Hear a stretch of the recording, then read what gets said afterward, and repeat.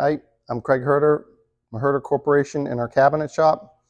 And I'm doing lockout tagout for our Powermatic uh, table saw. Uh, this one, pretty simple. Obviously, we're gonna we're gonna shut it off, and then in order to dispower this, right here, this is labeled with the saw and, and the panel that it's on, the power panel number 11. So we're going to disconnect this here. We're going to take out our, our lockout container, put the plug in here, shut it, and put our lock on. Okay.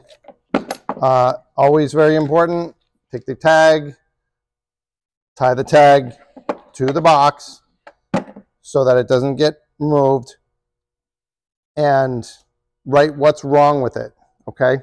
If you don't put it on the box, then it should then it belongs here on the handle so it's just easily seen and someone knows what's wrong with this machine and it can be serviced.